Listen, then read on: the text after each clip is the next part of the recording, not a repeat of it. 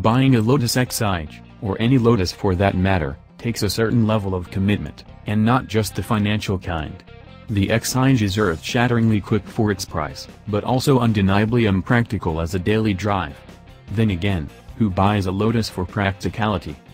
For about $155,000, this top-spec 2018 Lotus Exige Sport 380 can be yours. Well, add another $15,000 for options, and for that money we struggle to think of another sports car that can do 0 to 100 km per hour in 3.7 seconds, as a manual, and achieve the lap times the Exige can with ease.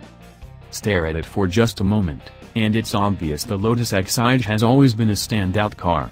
It turns heads everywhere it goes, and in that regard it's borderline supercar territory for its attention-seeking abilities. For the even more hardcore Exige S380, particularly in this Exige Orange tested here, it's impossible to go anywhere without being noticed. And that's with the exhaust switched off. Turn that on and its note and associated crackles will make any sane man giggle with an evil grin, while passers-by and pedestrians cower with fear of an incoming ballistic missile. It's astonishingly loud, in a good way.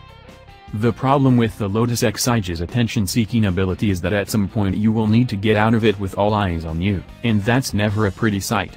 There's a famous picture of former Senator Clive Palmer trying to climb out of his Mercedes-Benz SLS AMG, a car that is insanely easy to get in and out of, due to the gull-wing doors, but he makes it look like an Olympic sport. The Exige has that effect on anyone. To avoid being a Clive Palmer, as a general rule, pay your taxes, we advise parking this somewhere that no one can see you exit. Now to be fair, this reviewer is more than happy to admit that he shares a minor resemblance to Sir Palmer after a few too many visits to KFC, but even the fitter folk at CarAdvice struggled to get out of this with dignity and grace. You basically have to fold yourself in and out of the Exige, something that is not natural. It's akin to an elephant trying to perform a cartwheel. The good news is that once you get in, you don't want to ever get out, and not just to avoid the embarrassment. The Exige 380S is the epitome of what it means to be a driver's car. This is the sort of car that you can take for a drive on the winding road and remain in a state of elation. This car makes you feel alive. And not in that cliché kind of way, but in the sense that if you are not paying full attention when on it, you won't be alive for too long. So the level of focus and in-the-moment presence required brings out a higher level of consciousness. Every minor movement of the steering wheel is matched with an exhilarating and exact response from the front wheels. It can change directions quicker than would seem possible. There is no power steering to ruin the fun. So much effort goes into driving this thing fast, but instead of feeling exhausted at the end of a mountain run or track day, one feels entirely euphoric. At the very limit, it will begin to understeer, but that limit is well and truly beyond the reach of most common folk. Then again, common folk don't often buy Lotus Exiges. Even so, it's better for it to understeer, because for a car so compact to oversteer would be less than ideal. It doesn't have the adjustable traction control of the Lotus Cup cars, but even so, it will allow a reasonable amount of play in sport mode before it decides to save your life. It's addictive, but it's also not easy to drive fast. This isn't a Porsche Cayman that your grandmother can drive. It's a firm ride, it's noisy inside the cabin, and our car didn't even have a stereo, which can be optioned. Then there are the pedal positions, which are just that little bit off, and if you're too tall it won't be comfortable. The steering wheel doesn't go in and out, so that further limits the possible seating positions. But if you can deal with the firm ride and find your perfect driving position, like we did, it's a case of having a sense or feeling of connection with a sports car that in this day and age is virtually non-existent elsewhere.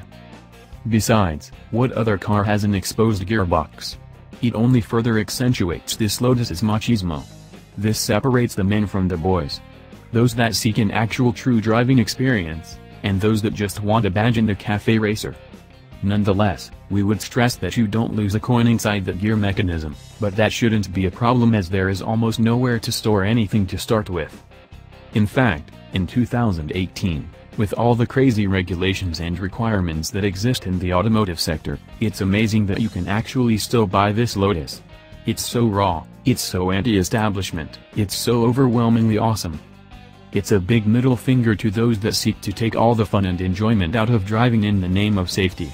Speaking of which, we would advise you seek to avoid having a coming together with a Trira Polwin and a Lotus, as it probably won't end well.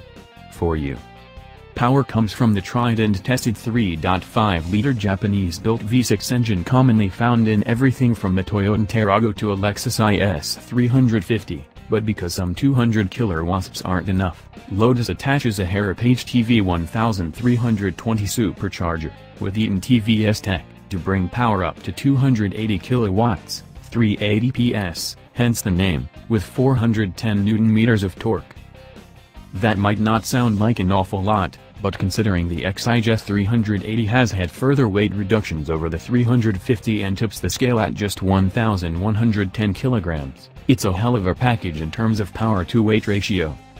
Ultimately, as the company's founder Colin Chapman was very fond of continuously explaining, Lotus is all about power to weight and producing cars that are light and hence extremely agile.